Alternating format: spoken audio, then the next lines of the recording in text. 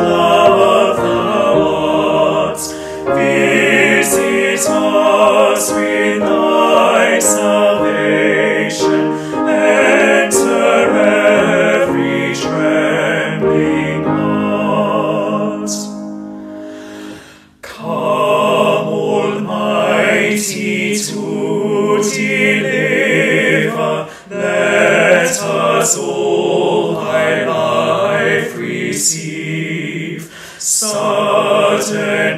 Suddenly return and never, never more thy temples leave. Thee we would be always blessing, serve thee as thy hosts above. Pray and praise thee without ceasing,